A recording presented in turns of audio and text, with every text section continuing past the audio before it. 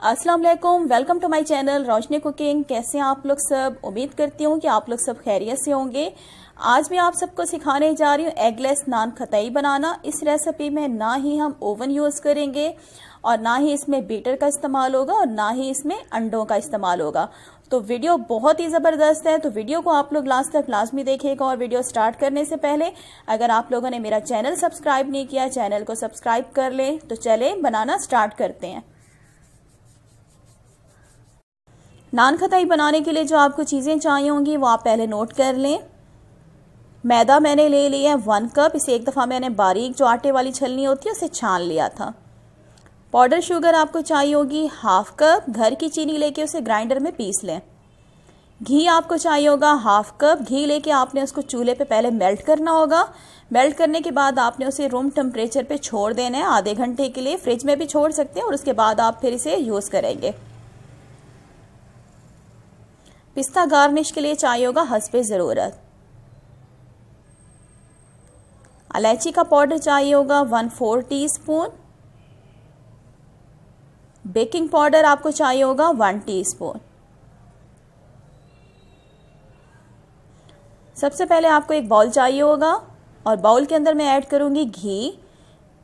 घी आपने लेके उसको पहले चूल्हे पे मेल्ट करना होगा और उसके बाद आप इसे छोड़ देंगे तकरीबन आधे घंटे के लिए जब तक कि दोबारा ये हार्ड नहीं हो जाता। उसके बाद यूज़ करेंगे। घी को अब क्या करेंगे? हम स्पून की मदद से अच्छी तरह से मिक्स करेंगे। लगातार दो से तीन मिनट के लिए जब तक कि मिक्सचर हमारा वाइट नहीं हो जाता। तो देखिए, दो से तीन मिनट घी को अच्छी तरह से लगातार स्पून की मदद से मिक्स किया। देखिए मिक्सचर हमारा वाइट हो गया इसके अंदर अब मैं ऐड कर दूँगी पाउडर शुगर सारी और साथ ही इसमें डाल दूँगी इलायची का पाउडर भी। और दोबारा से हम इसकी मिक्सिंग करेंगे स्पून की मदद से लगातार, तकरीबन ऐसे दो से तीन मिनट के लिए, जब तक कि तमाम चीज़ें अच्छी तरह से मिक्स नहीं हो जाती।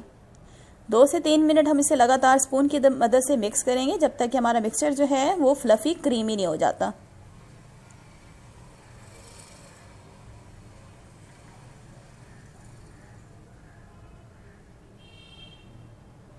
देखिए तीन मिनट तक लगातार मैंने स्पून की मदद से अच्छी तरह से मिक्स किया हमारा मिक्सचर देखें क्रीमी और फ्लफ़ी हो चुका है। और अब क्या करेंगे, हमारे पास जो मैदा है, इसके अंदर ऐड कर दूँगी मैं बेकिंग पाउडर और दोनों चीज़ों को हम करेंगे अच्छी तरह से मिक्स मिक्स करने के बाद मैदा जो है, हम इसके अंदर डालेंगे। दो टाइम्स में डालेंगे टू टाइम्स में डालेंगे। मतलब एक दफ़ा पहले मैंने इसमें डाल दिया मैदा, इसे मिक्स करेंगे। और उसके बाद मैं इसमें सेकेंड टाइम सारा मैदा डाल दूँगी। मैदे के अंदर मैंने बेकिंग पाउडर भी मिक्स किया था। और सारा मैदा डालने के बाद इसे क्या करेंगे? अब हाथ की मदद से हम इसकी डो रेडी कर लेंगे। अच्छी तरह से मिक्सिंग करेंगे। हाथों की मदद से इसकी हमने डो रेडी कर लेनी है।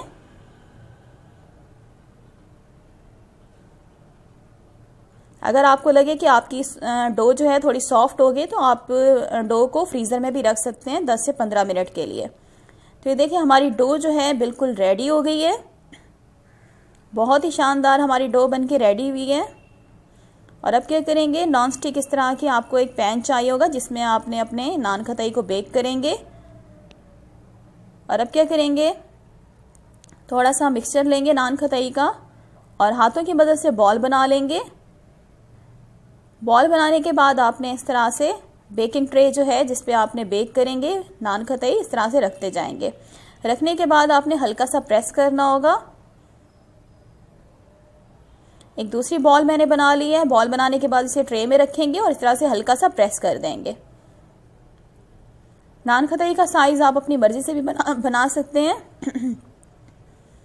छोटी या बड़ी नान खतई आप बना सकते हैं, क्योंकि अभी जब हम इनको बेक करेंगे तो ये साइज़ में फिर डबल होंगी। तो देखें, इस तरह से सारी जो हम रेडी कर लेते हैं। तो ये देखें थोड़ा सा मिक्सचर रह गया, मैं इसे बाद में बनाऊँगी क्योंकि बेकिंग ट्रे मेरी थोड़ी छोटी है। और इस तरह का आपको राउंड कटर चाहिए होगा, इस तरह से आप इसको सर्कल का निशान लगाएँगे। सर्कल का निशान मैंने लगा लिए नाइफ लेंगे।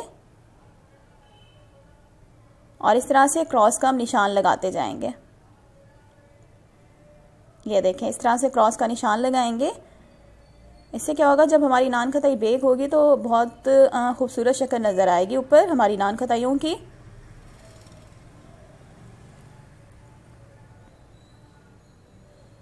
ये देखें, इस तरह से हमने सर्कल का निशान लगा रहे हैं तमाम नान खताइयों के ऊपर। सॉरी, क्रॉस का निशान लगा रहे हैं। और सर्कल का निशान मैंने इसलिए लगाया था क्योंकि इसके बाद हम इसको एग वॉश करेंगे। तो प्रॉपर जो है राउंड शेप के अंदर ही हमने एग वॉश करना होगा। इससे क्या है, हमारी नान खताइयाँ बड़ी खूबसूरत नज़र आती हैं जब बेक होके बाहर निकलती हैं। तो ये देखें इस तरह से मैंने क्रॉस का निशान तमाम नान खताइयों के ऊपर लगा लिया। उसके बाद आपको एक अंडे की जर्दी चाहिए होगी। और इसके अंदर मैं ऐड करूँगी शहद हनी वन टीस्पून इसमें मैं शहद ऐड कर दूँगी और दोनों को अच्छी तरह से मिक्स कर देंगे। इससे हम क्या करेंगे, अपने नान खताइयों को ब्रश करेंगे।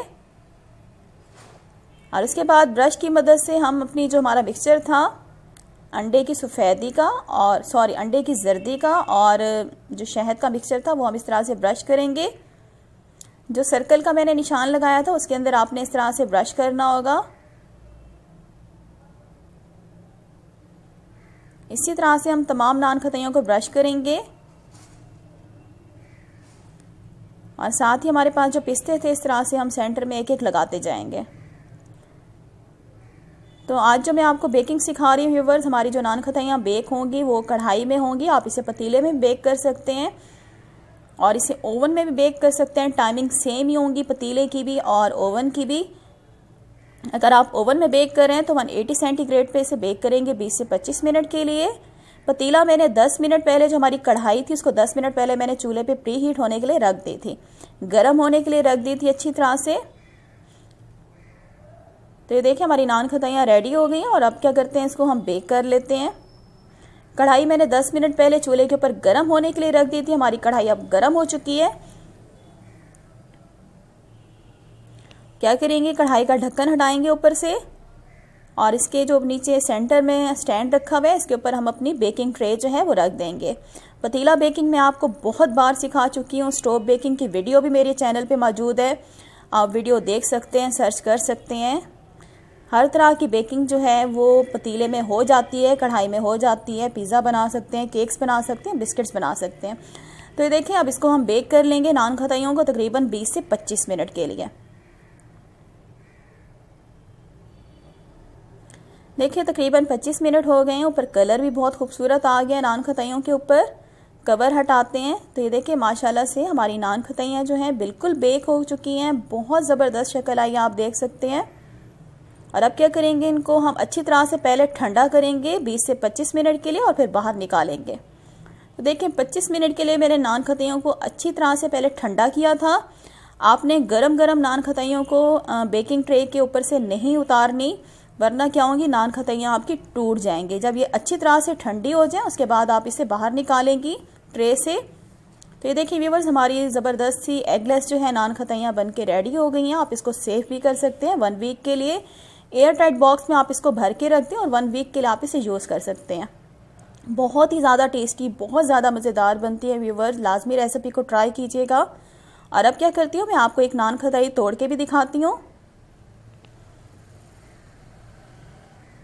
ये देखिए व्यूवर्स आप पहले शक्ल देख सकते हैं, आगे पीछे से देखें कितना खूबसूरत कलर आया है। बिल्कुल हमारी परफेक्ट बेक हुई है नान खताइयाँ मैं आपको कट करके दिखाती हूँ। ये देखें कितनी ज़बरदस्त तरीके से हमारी नान खताई हैं, जिस तरह से टेक्सचर होना चाहिए सेम उसी तरह से टेक्सचर आए हैं। लाजमी रेसिपी को ट्राई कीजिएगा और अगर आज की वीडियो अच्छी लगी है तो वीडियो को लाइक कर दें। नेक्स्ट रेसिपी के साथ फिर हाजिर होंगी। थैंक्स फॉर वॉचिंग अल्लाह हाफिज़।